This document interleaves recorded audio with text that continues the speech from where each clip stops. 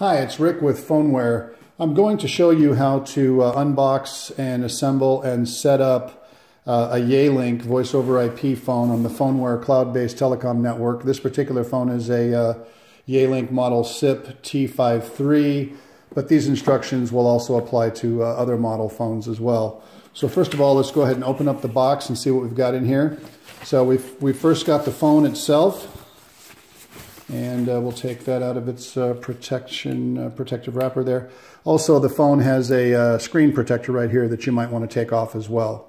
So there's the phone itself. And uh, next we have the manufacturer's user guide, and uh, that basically just shows how to assemble the phone. It doesn't really have usage instructions in it. You should have also received, maybe in the box or it may have been sent or emailed to you separately, a Phoneware uh, quick, reference, quick reference manual looks something like that. Uh, or if it's folded, uh, basically looks like that. And it's just a double-sided kind of brochure format for uh, all the instructions on how to use uh, that phone on the uh, Phoneware network. Okay, let's see what else is in here. So we're going to look in the bottom. And in here we have a patch cord. Uh, so just a regular Ethernet patch cord. I'm not going to use that right now because I have my own cord here that I'm going to show you how to hook up. So I will set that aside. Uh, you also may have a power supply uh, provided in the box, you know, just a little uh, uh, AC power adapter like that. Uh, but if you have power over Ethernet, which I do here, you're not going to need to use that, but I'll show you where that plugs in if you need to plug it into to local power, okay? But I'm not going to be using the power adapter. And then we have the uh, phone handset right here. And we have the phone uh, handset cord right there. So let's go ahead and remove that. Easier said than done. Sometimes they want to hang up on the little clip here at the end. Come on. There we go. Okay, so now we've got the phone handset cord. Set that wrapper aside. And then last we have the uh, phone uh, stand. It just is what use, what's used to keep the phone tilted upright. Okay? So I'm going to go ahead and set the box aside and now show you how uh, we put all this together. So basically, let's first put the uh, handset cord in. Now the handset cord has got uh, a long end and a short end. Okay? The short end is going to plug into the handset itself right here, like so. And the long end is going to plug into uh, this on the back of the phone. There's a picture of a handset. There's a picture of a headset. Don't use that one. Use this one here, the picture of a handset. So plug that in. And then there are these channels that you can just uh, basically kind of uh, stick the cord in so that it stays snug in there. Okay? So that's it for the, uh, for the stand. I'm sorry, for the uh, handset cord. Now I've got the stand here. That goes on real easily. You basically just uh, kind of lock that in like that. And now the phone is basically uh, assembled pretty easy. Okay. Now I want to show you how to, uh, how to hook that up. On the bottom of the phone, there are two uh, Ethernet connections. One of them is labeled Internet. That's the one we're going to plug into our network connection. And the other one is labeled PC.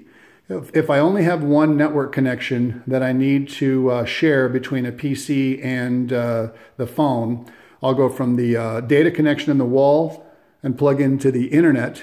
And then I'll go from the PC and plug that into my computer so that they can both share that same connection.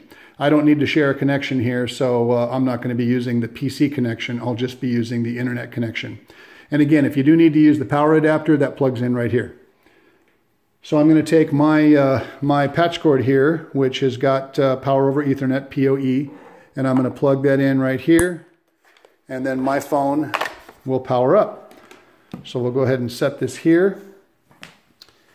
And uh, when the phone first powers up, it's going to go through a few uh, check-in uh, processes. Let me see if I can show this a little bit better.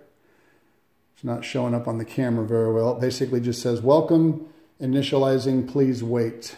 So the phone is going to go through uh, an initialization process here. And um, Right now it is, uh, it's saying network unavailable, but it's going to learn my network. There it is. It says obtaining IP address. Once it gets an IP address, it's going to go out and contact the um, provisioning server. So it's doing that right now, uh, updating its configuration. And now the phone is rebooting. And once it's contacted the uh, uh, configuration server, the phone may reboot a couple of times. It may also do a firmware update if, uh, if we have uh, new firmware uh, to deliver to the phone as part of the setup process here. So now the phone is booting again. It's going to go through the network discovery phase again and um, reconnect to the internet again. And, you know, when you receive one of these phones, it should already all uh, be set up on our network. Uh, we basically take the phone's MAC address, which is right here, and we enter that in before we send you the phone so that uh, your phone is all ready to, uh, to work on our network once, uh, once it uh, you know, checks in and boots up completely. Okay, now this phone is doing a firmware update. So the firmware update is going to take a couple of minutes, uh, but when that's done, see it says firmware updating, do not power off. So it's downloading the new firmware, and again, you may not be able to see that on your screen. The uh, the bright um, the bright screen here is just not focusing properly on this camera. Um, but anyway, so it's uh, the phone is now downloading its firmware, and once that uh, firmware downloads, then um, there will uh, the phone will reboot one more time and we should be uh, live and uh, operational. So while we're waiting for that, um, this is the, uh, the uh, T53 model. This phone does not have built-in Wi-Fi. Now you can add a Wi-Fi adapter right here. We call it a dongle, a Wi-Fi dongle. There's a USB port right here on the back of the phone. And so if you have a Wi-Fi dongle, you can plug that in and make this phone, uh, you know, Wi-Fi um, capable. And then if that's the case, there would be a, a step that you would have needed to have uh, followed first to put this phone, uh, connect it to your Wi-Fi at your location, and then it would go through this, uh, through this process.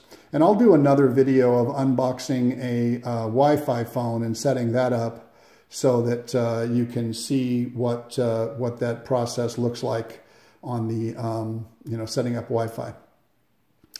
So, um, and again, if you needed Wi-Fi on the T53 phone, which does not have Wi-Fi, uh, the T53W has Wi-Fi, but if you need Wi-Fi on it, we can uh, provide you with a dongle to plug in right here, and uh, that will, um, you know, that will enable this phone with Wi-Fi.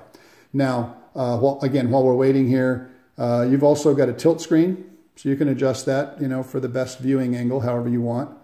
And now the phone is rebooting one last time. And uh, we're going to, now uh, after this reboot, the phone should be 100% uh, operational. Uh, fingers crossed. We call this plug and pray. Uh, haha. But uh, we'll see if this, if this was successful and this phone boots up. It should and then we should be able to uh, make and receive calls and be operational. Okay, so the phone is uh, connecting to the network again. I can see that it's got some of the configuration because my button programming is here. Okay, so we can see that we've got uh, you know some uh, good results already. And here we are. So this phone is now live. It's on my extension 222. My phone happens to be in Do Not Disturb right now. Got my call buttons, pickup buttons, park buttons, etc. And uh, if I go and make a call now, I'll put it down on the desk, we should be live. And we are golden. Your phone number is... Okay. So uh, this was a brand new phone out of the box that uh, I set up and uh, checked into our servers and configured itself, and now it's ready to use. That's it. Thanks for watching.